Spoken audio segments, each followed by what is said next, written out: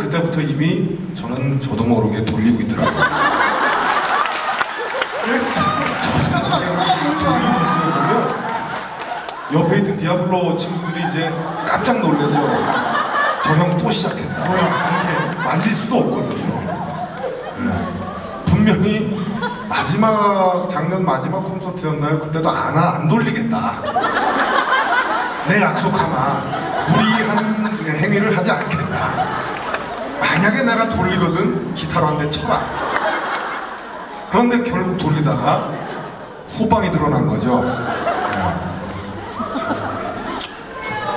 아 진정하십시오. 오늘 예, 돌리기 시작하면 예, 그 보여주세요. 돌림이 영원하리라. 아, 이제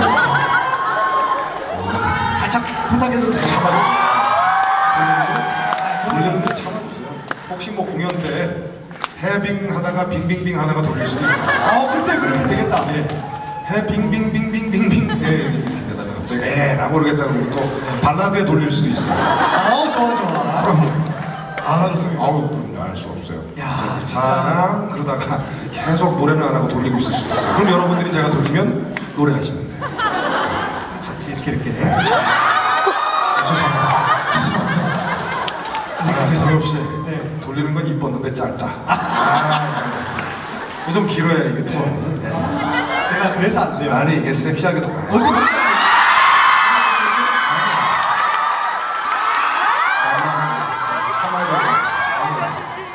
약속을 하고 왔어요. 오늘도 혹시나 예, 여러분들의 춤에 예, 흔드는 추태를 부리지 말아달라고 여러분들의 의견이 있었기 때문에 예, 수정하겠습니다. 아 아쉬워요.